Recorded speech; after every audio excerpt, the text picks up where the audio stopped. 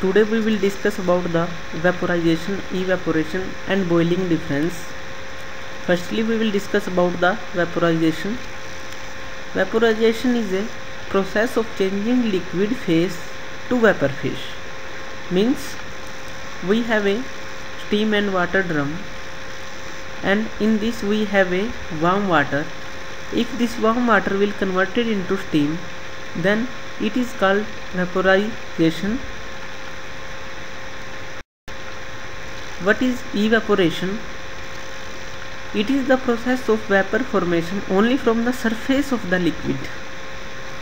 We have a steam and water drum and warm water. This is the liquid surface and if vapors are formed only from the surface of the liquid then it is called evaporation. If we talk about boiling.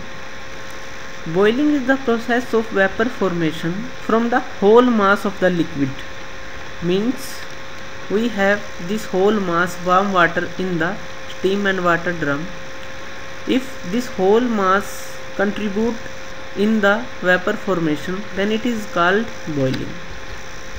If this whole mass will convert into steam then it is called boiling in this state in the boiling vapor and water will be in equilibrium condition.